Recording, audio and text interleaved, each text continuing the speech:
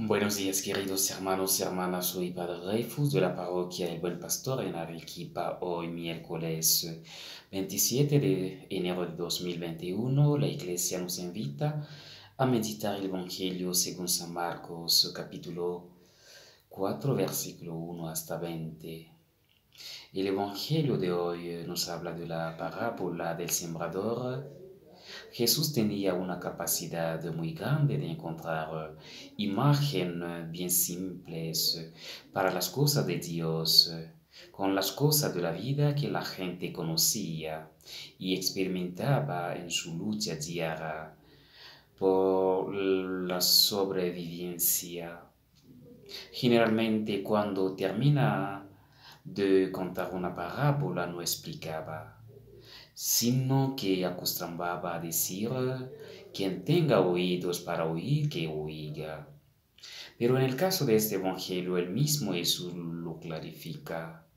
Dios el sembrador, la semilla es la palabra y la tierra es el corazón del hombre.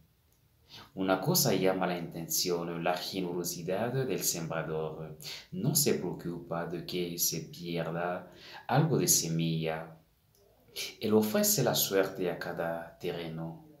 La semilla cae sobre todos los terrenos, los fecundos y los baldíos, sobre tierra moída y sobre zarzas. Así es nuestro Dios. Jesús habló para todos, para los que fascinados lo escuchaban y para los que no lo querían Luego, antes la siembra, la respuesta del hombre es muy diversa. La semilla está sembrada para cada corazón, pero su fecundidad no es automática ni está asegurada. Es el misterio de la libertad del hombre. Dios solo nos propone sin imponer nada. Esta parábola no habla hoy a cada uno de nosotros como hablaba a los que escuchaban a Jesús hace 2021 años. Nos recuerda que somos el terreno donde el Señor posa la semilla de su palabra y de su amor. Entonces, ¿con qué disposición lo acogemos? Depende de nosotros ser un terreno bueno, sin espinas ni piedras labrado es cultivado con eh, mimo para que pueda dar frutos eh, buenos para nosotros eh, y para nuestros hermanos y hermanas.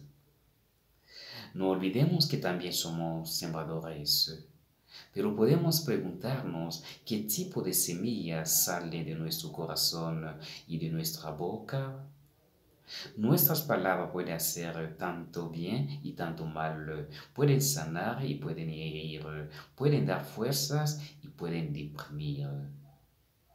Recordamos de lo que dijo Jesús, lo que cuenta no es lo que entra, sino lo que sale de nuestra boca y de nuestro corazón. Que la Virgen María nos enseñe con su ejemplo cómo acoger la palabra de Dios, custodiarla y hacer que produzca fruto en nosotros y en los demás. Amén. Que el Señor nos ayude.